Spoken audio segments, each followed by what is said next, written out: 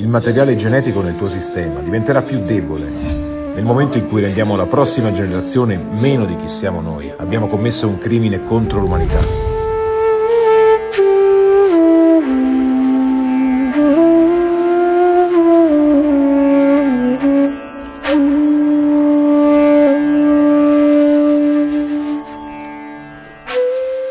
Hai sempre creduto che una volta che hai la terra durerà per generazioni. Beh, ora non è così. La terra può diventare un debito se non ci prendiamo cura del suolo. La terra non sarà un bene.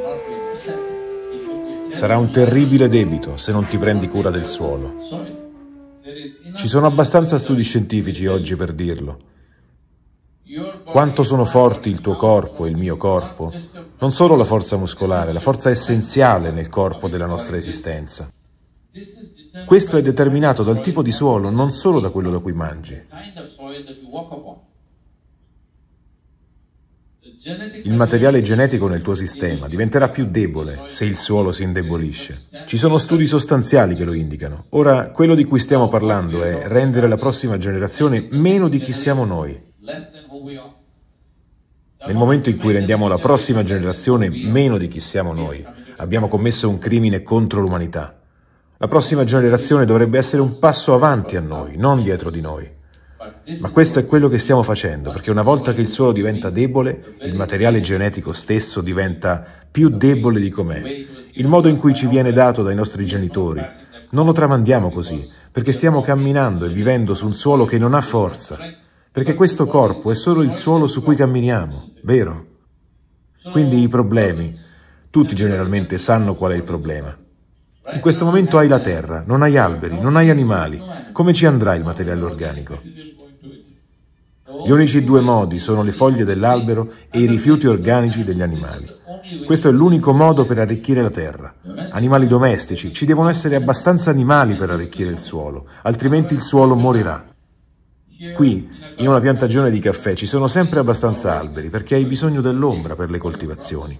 Quindi c'è molto fogliame che cade, c'è humus. Per favore, guida fino a Keyer Nagar, nemmeno fino a Mysore e guarda com'è il suolo. È morto o no? Hm?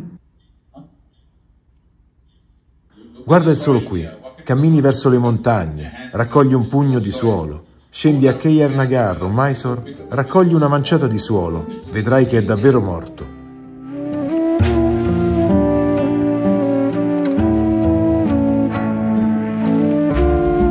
Quindi l'idea è di portare l'attenzione sul suolo. Tutti quelli che potete influenzare dal 21 marzo per 100 giorni. Vogliamo che tutti parlino di suolo, parlino di suolo per 100 giorni sul pianeta. Quindi stiamo riunendo un sacco di influencer, scienziati, leader politici, capi di Stato, agenzie dell'ONU, tutti insieme, in modo che la conversazione del mondo per cento giorni sarà sul suolo. Qualsiasi cosa tu scriva, qualsiasi messaggio, la tua email, Whatsapp, TikTok, Qualunque cosa tu faccia, devi firmare salva il suolo. Tutto il mondo dovrebbe parlare di suolo, perché se non parliamo di suolo adesso, se non spostiamo la narrazione in quella direzione, ce ne pentiremo. Ogni scienziato responsabile nel mondo sta chiaramente dicendo entro il 2045 produrremo il 40% in meno di cibo, di quello che stiamo producendo ora, e la nostra popolazione sarà di oltre 9 miliardi di persone, va bene?